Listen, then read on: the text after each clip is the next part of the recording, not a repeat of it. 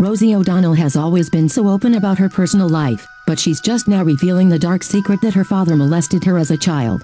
After six seasons with her own syndicated talk show and her time as a moderator on The View, fans thought they knew just about every aspect of Rosie O'Donnell's personal life.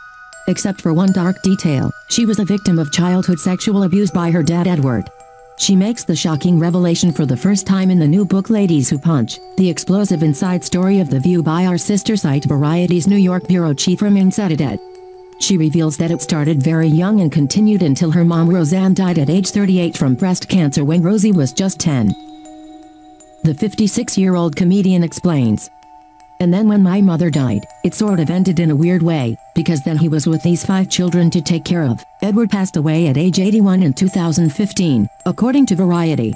The details about her father's molestation come in a chapter about her wildly successful daytime talker The Rosie O'Donnell Show, which aired from 1996 to 2002. On the whole, it's not something I like to talk about. Of course, it changes everyone. Any child who is put in that position, especially by someone in the family, you feel completely powerless and stuck, because the person you would tell is the person doing it. Mother of five Rosie continues.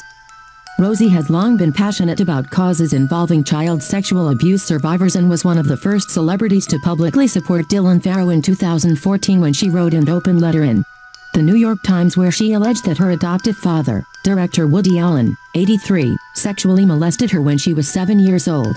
I'm very anti-Roman Polanski and anti-Woody Allen, Rosie says in the book. It's a pretty clear line for me. Rosie has been critical of her father in the past. In a 2012 interview with Piers Morgan, she told him that he had his own issues and demons. He had a very tough childhood, he had an alcoholic, abusive father and never really got the help that I think every person needs when they have lived through that as a child. I think that he had a lot of problems to deal with. She also claimed her dad distanced himself from she and her siblings after her mom died.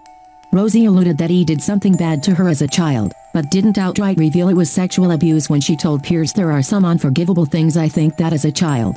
The statute of limitations has to wear off. You get to be 50 years old, and you can't be still angry at what your father did in 1970. Ladies Who Punch comes out in print on April 2nd.